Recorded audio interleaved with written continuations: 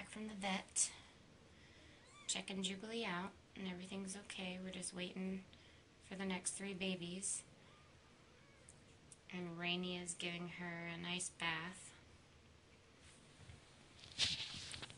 The babies latched right onto Jubilee. They like her furry tummy better than Rainy's shaved tummy. So since Jubilee's taking care of Rainy's kittens, Rainy's making sure she's taking care of Jubilee.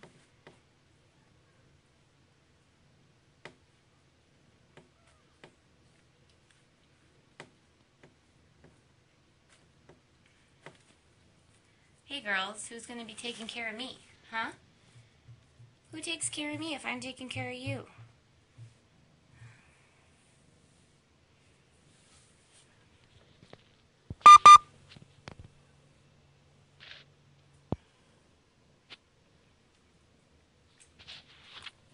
Can I see the babies? You got those babies in there? Are they doing good? Got some babies under there too? Hi, mamas. Yeah, hi, mamas.